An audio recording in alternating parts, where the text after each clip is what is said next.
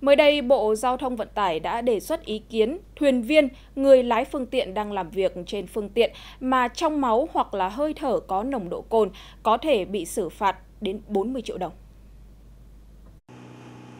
Các thuyền viên uống rượu bia khi đang trong giờ làm việc sẽ bị phạt tiền từ 3 đến 5 triệu đồng nếu nồng độ cồn chưa vượt quá 50 mg trên 100 ml máu hoặc 0,25 mg trên 1 lít khí thở. Phạt tiền từ năm đến 10 triệu đồng nếu có nồng độ cồn vượt quá 50 mg đến 80 mg trên một ml máu hoặc 0,25 mg đến bốn mg trên một lít khí thở phạt tiền từ 20 đến 40 triệu đồng nếu có nồng độ cồn vượt quá 80 mg trên 100 ml máu hoặc vượt quá 0,4 mg trên 1 lít khí thở.